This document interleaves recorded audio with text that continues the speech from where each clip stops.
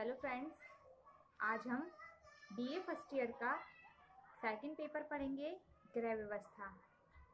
इसमें हमारा टॉपिक जो हम पिछली क्लास में पढ़ रहे थे, समय का व्यवस्थापन, वही टॉपिक हमारा कंटिन्यू रहेगा। इसमें हमारी आज की हेडिंग रहेगी, समय व्यवस्थापन के साधन।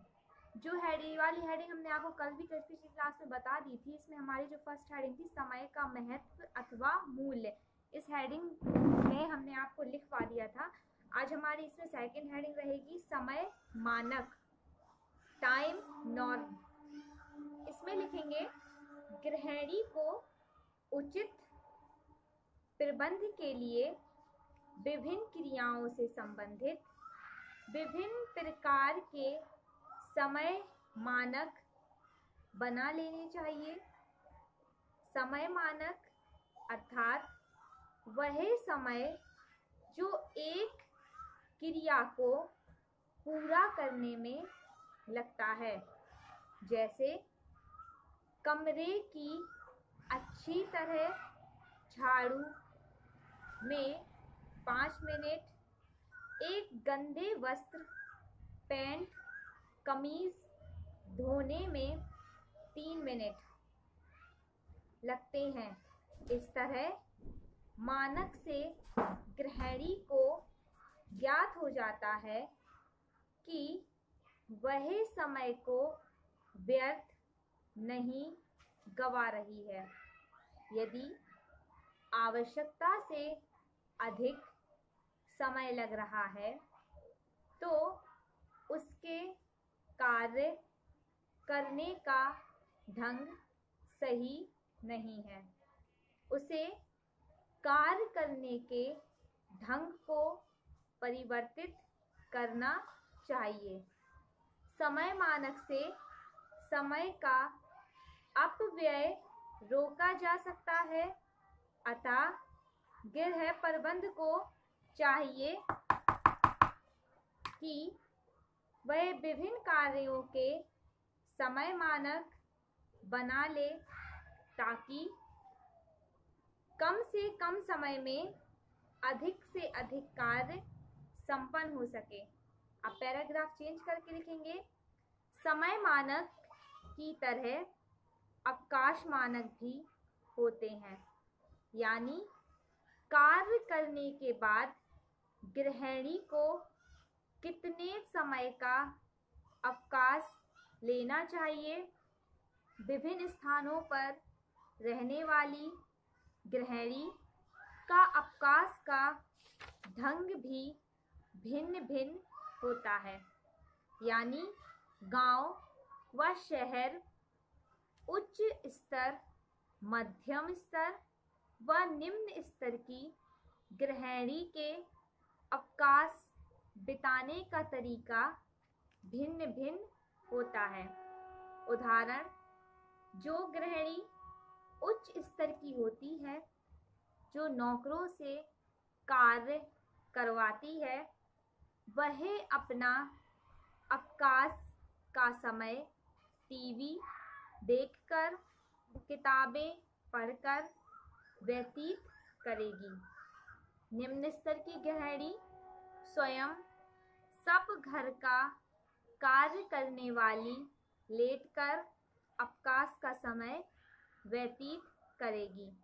इसी तरह, एक घर में रहने वाली, एक नौकरी करने वाली गृहिणी के अवकाश का ढंग भी भिन्न भिन्न होता है। अब थर्ड हेडिंग हम इसमें लिखेंगे, समय का संतुलन बैलेंस ऑफ़ टाइम इसमें लिखेंगे, प्रत्येक कार्य में समय का संतुलन रखना अति आवश्यक है। समय का संतुलन मुख्य रूप से तीन बातों का करना चाहिए। कार्य, विश्राम एवं शयन।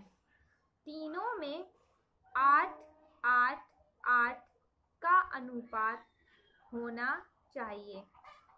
कार्य में समय का संतुलन स्थापित करते समय यह अवश्य ध्यान रखना चाहिए कि जिन कार्यों में अधिक व्यक्तियों की आवश्यकता होती है, उनको उस समय करना चाहिए।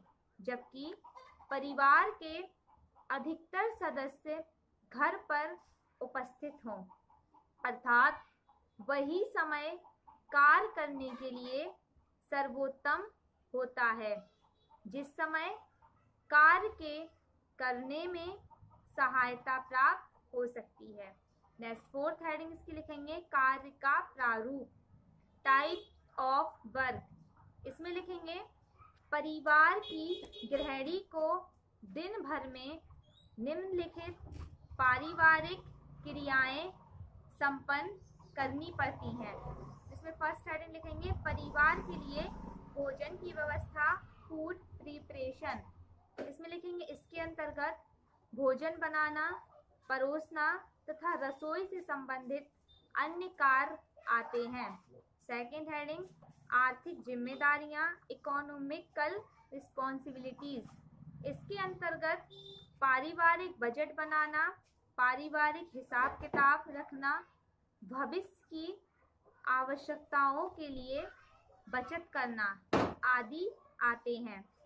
थर्ड हेडिंग घर की सफ़ाई क्लीनिंग ऑफ़ हाउस इसमें लिखेंगे घर के विभिन्न कमरों की सफ़ाई एवं इनकी साज सज्जा संबंधी कार्य इसके अंतर्गत आते हैं।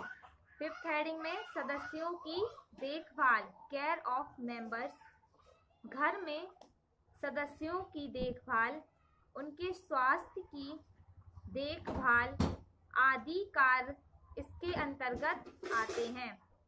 फिफ्थ हेडिंग में लिखेंगे, परिवार के बच्चों की देखभाल केयर ऑफ़ चिल्ड्रन परिवार के बच्चों के दैनिक नित्य कर्म करना, जैसे नहलाना, बच्चों की देखभाल, स्कूल भेजना आदि कार्य इसके अंतर्गत आते हैं। नेक्स्ट हेडिंग वस्त्रों की देखभाल केयर ऑफ़ क्लॉथ इसके अंतर्गत कपड़े धोना प्रेस करना, सिलना, मरम्मत इत्यादि आते हैं। नेक्स्ट हेडिंग रहेगी शैक्षणिक जिम्मेदारियाँ एजुकेशनल रिस्पॉन्सिबिलिटीज इसमें परिवार के बच्चों की पढ़ाई संबंधी समस्याओं को दूर करना, गृह कार्य को करवाना इत्यादि आते हैं। फिर नेक्स्ट हेडिंग रहेगी सामाजिक एवं धार्मिक जिम्मेदारियाँ सोशल एंड रिलीजियस रिस्पॉन्सिबिलिटीज इसके अंतर्गत गृहिणी की सामाजिक, सांस्कृतिक व धार्मिक जिम्मेदारियाँ आती हैं। फिर नेक्स्ट हेडिंग निर्देशन डायरेक्शन परिवार के सदस्यों व नौकरों को सही ढंग से काम करने के निर्देश देना इसके अंतर्गत आते हैं। नेक्स्ट हेड रहेगी, सहायता, हेल्प, गृहिणी घर की आर्थिक स्थिति सुदृढ़ करने में कार्य करके सहयोग देती है। लास्ट हेड रहेगी, स्वयं की देखभाल सेल्फ केयर गृहिणी का जो समय स्वयं के लिए व्यतीत होता है, जैसे विश्राम करना, स्वयं की देखभाल करना।